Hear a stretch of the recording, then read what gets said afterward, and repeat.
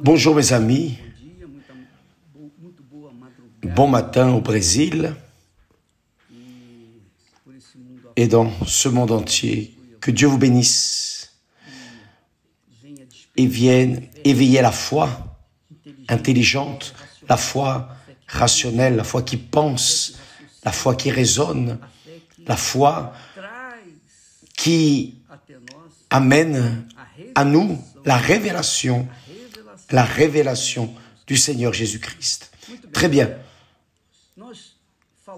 Nous avons parlé cette semaine au sujet des paroles du Seigneur Jésus. Ce qui est né de la chair est chair. Ce qui est né de la chair est chair, a dit Jésus. Et là, la personne dit, mais évêque, comment puis-je m'encadrer? Comment puis-je savoir si je suis né de Dieu? D'abord, quand la personne naît de Dieu, le propre Saint-Esprit testifie. Le Saint-Esprit testifie, confirme qu'elle est née de Dieu. C'est la parole. Une personne qui naît d'une autre personne, des parents, sait très bien qui sont ses parents lorsque, évidemment, elle a le privilège de les connaître. Le Saint-Esprit, lorsqu'il engendre une personne, la personne sait qu'elle a été engendrée par lui. Elle est spirituelle. Mais s'il y a encore un doute, sachez cela. Je veux que vous sachiez, c'est précisément ce qui est écrit dans les Écritures sacrées. Jésus a dit, ce qui est né de la chair est chair, c'est-à-dire la chair n'est pas soumise et ne se soumet pas aux choses de Dieu, à la parole de Dieu, aux enseignements de Dieu. La chair ne se soumet pas à la discipline de Dieu. Un homme pour chaque femme, une femme pour chaque homme. Non, celui qui est né de la chair ne se soumet pas au principe de la parole de Dieu. C'est la réalité. Quand une personne est née de la chair, elle demeure charnelle jusqu'au jour où elle meurt pour elle-même, elle meurt pour le monde, est née pour Dieu. C'est l'œuvre du Saint-Esprit. Mais d'abord, la personne doit se convaincre.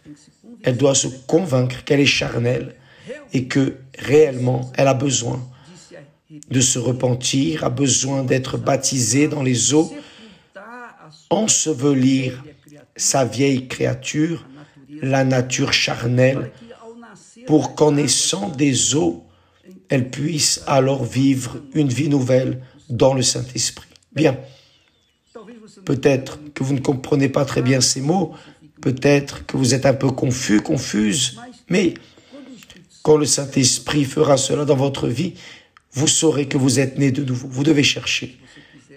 Si vous voulez réellement hériter le royaume de Dieu, vous devez avoir votre nature divine, spirituelle. Vous devez naître de l'esprit. Parce que quiconque est cher ne pourra jamais entrer dans le royaume de Dieu, qui est le royaume spirituel. Le royaume de Dieu est spirituel. Ce n'est pas un royaume physique, comme les royaumes de ce monde le royaume de Dieu est un royaume spirituel parce que Dieu est esprit. Il règne, il règne pour les personnes qui sont spirituelles. Il parle et les personnes spirituelles, nées de lui, enfants de lui, obéissent.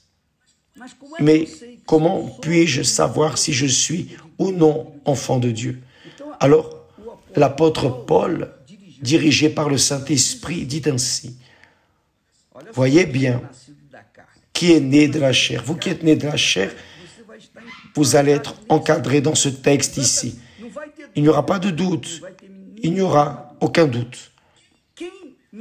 Qui n'est pas né du Saint-Esprit, évidemment, continue dans la chair. Donc, ces mots vont, vont combiner avec ceux qui sont nés de la chair. Voyez, qui sont ceux qui sont nés de la chair. Il dit,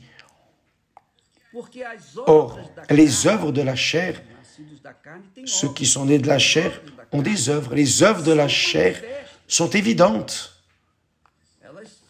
Elles se manifestent. Ce sont la débauche. Vous savez ce qu'est la débauche L'impureté. Qu'est-ce que l'impureté?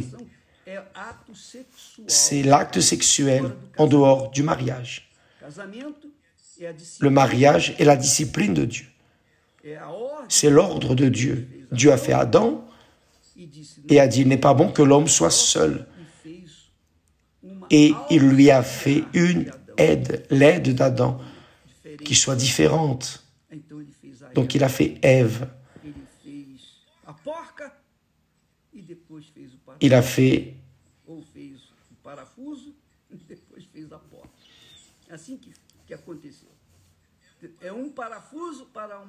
c'est un. C'est une vis pour une charnière. Ce n'est pas n'importe quelle vis pour n'importe quelle charnière. Non. C'est en accord. Donc il dit la débauche, la chair. L'impureté, c'est la chair. Sexe en dehors du mariage. Le dérèglement. Vous savez, l'idolâtrie, le dérèglement, l'inclination au sexe, le penchant. Mon frère, plus vieux, décédé, était un homme à femme, un homme à femme. Il penchait vers le dérèglement. Et à cause de cela, il a perdu son mariage. Il aimait son épouse, mais il voulait aller avec les autres. Que s'est-il passé?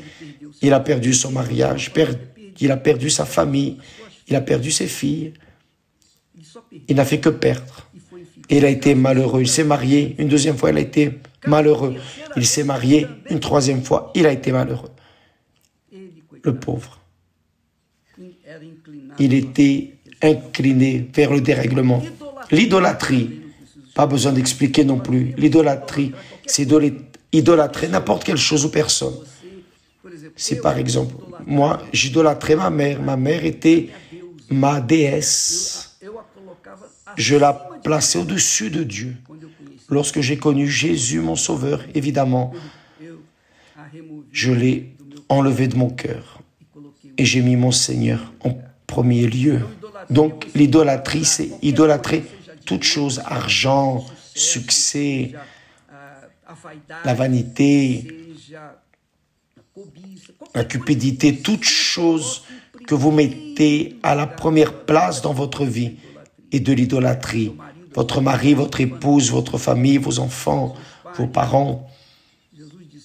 Jésus a dit, quiconque aime son père, sa mère plus que moi n'est pas digne de moi. Qui aime son fils, sa fille, son frère, sa soeur plus que moi n'est pas digne de moi.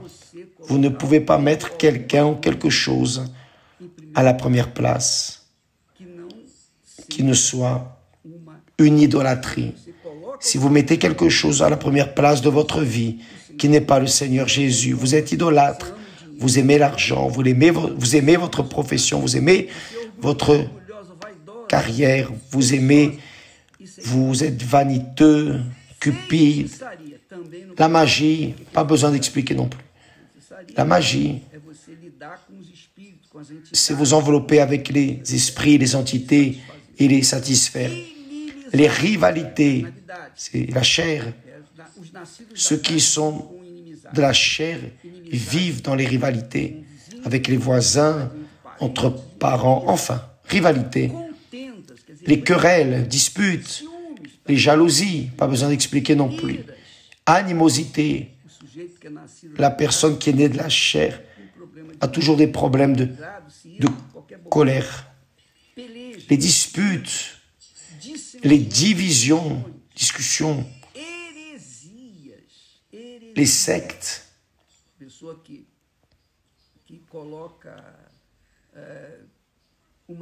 les personnes qui mettent une doctrine qui confronte la doctrine sacrée de la parole de Dieu. L'envie, l'envie est charnelle. Par exemple, aujourd'hui, normalement, le charnel dit, ah, je vis par la grâce. Je vis par la grâce de Dieu. Comme si la grâce de Dieu tolérait, tolérait quelques petits péchés ou œuvres de la chair. Ça, c'est une hérésie. L'envie, l'ivrognerie,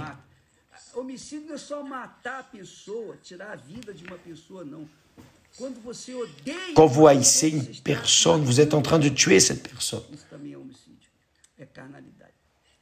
Les excès de table.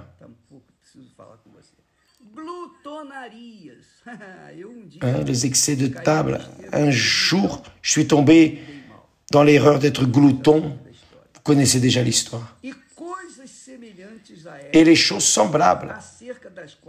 Je vous dis d'avance, comme j'ai déjà dit, que ceux qui commettent de telles choses n'hériteront point le royaume de Dieu. Le royaume de Dieu est conquis, est conquis avec effort, beaucoup d'efforts. D'ailleurs, vous devez vous faire violence, faire violence à votre chair pour avoir le droit, le privilège d'hériter le royaume de Dieu. Le royaume de Dieu ne s'achète pas. Comme un héritage, on n'achète pas. On prend possession de l'héritage par droit. Le droit au royaume de Dieu n'est pas pour les charnels, pour ceux qui vivent dans la chair. Parce que ceux qui vivent dans la chair, en aucune manière entreront dans le royaume de Dieu. D'ailleurs, il est aussi écrit que la chair et le sang ne feront hériter le royaume de Dieu. Donc, tant que la personne est charnelle, elle est condamnée, elle est condamnée à l'éternité de la souffrance, dans la douleur, dans les temps de feu de souffre, parce qu'elle est charnelle. Donc, vous voyez le besoin, la grandeur du besoin de naître de nouveau, naître du Saint-Esprit. Parce que quand la personne est esprit, elle a la nature de Dieu, elle a la nature divine, elle est spirituelle, elle devient esprit vivifiant. Elle a la garantie du propre Saint-Esprit qu'elle héritera la vie éternelle, le royaume des cieux. D'abord le royaume de Dieu et ensuite le royaume des cieux. Je pense que vous devez avoir compris ce que nous avons dit ici. Et si vous êtes un pasteur, un ouvrier, un évêque, un prêtre, un pape ou, comment dit-on, quel que soit votre office dans une église, dans une religion, si vous êtes inclus dans cette liste dont nous avons parlé ici, vous êtes cher, et si vous mourrez de cette manière, si vous passez vers l'éternité, il n'y a pas de salut. Il n'y a de salut pour vous que lorsque vous êtes vivant, vivante. Là oui, vous pouvez vous repentir de vos péchés. Et le Saint-Esprit donc fait que vous soyez une nouvelle créature, une créature strictement spirituelle. Et quand la personne naît de l'Esprit, quand elle naît de l'Esprit, elle pense comme Dieu pense. Elle pense en accord avec la parole de Dieu. Elle aime la discipline, l'ordre, la décence, l'intégrité, la justice. Elle aime la justice. Elle est la corruption. Elle est le péché. Elle est ce qui est erroné. Tout ce qui est erroné, elle est. Pourquoi? Parce qu'elle a la nature de la justice qui est Dieu. Dieu est justice.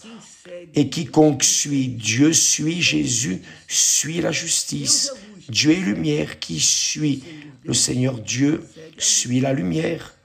Le Seigneur Jésus est le chemin, la vérité, la vie qui aime ce chemin marche dans l'intégrité, marche dans la dignité, marche dans la justice, marche dans la vérité, ne vit pas de mensonges, de tromperies.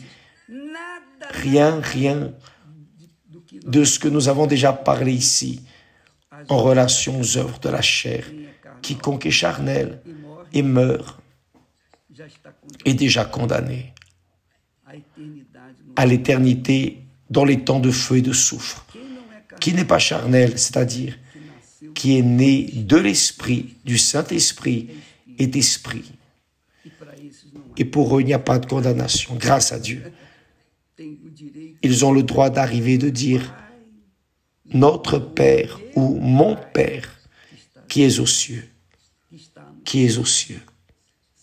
Que ton nom soit sanctifié. Quelle merveille. Juste pour ceux qui naissent du Saint-Esprit. Amen. Que Dieu vous bénisse tous. Nous allons continuer dans ce jeûne de Daniel. Je vais laisser ici enregistrer ce verset, ces versets qui parlent des œuvres de la chair. Si vous voulez confirmer, vous pouvez confirmer à n'importe quel moment du jour, de la nuit, sur Instagram. Et autre chose, dans ce jeûne de Daniel, j'aimerais laisser bien clair pour vous, c'est que univers, univers, cette plateforme qui n'apporte que des choses spirituelles, qui viennent édifier la vie de ceux qui veulent savoir ce que Dieu veut de leur vie. Donc, univers est disponible à toutes les personnes. Il existe l'univers qui est gratuit pour tout le monde et il y a univers qui a une partie payante parce que univers doit payer des droits d'auteur. Donc dans ce cas, c'est payant, mais c'est presque rien. C'est presque rien. Vous avez de l'argent pour acheter un paquet de cigarettes, pour acheter des bêtises. Euh, je ne sais pas combien ça coûte, mais quoi que ce soit, ça vaut la peine parce que il n'y a que du contenu qui vient édifier la vie des personnes. Que Dieu vous bénisse tous. À demain, au nom du Seigneur Jésus. Amen.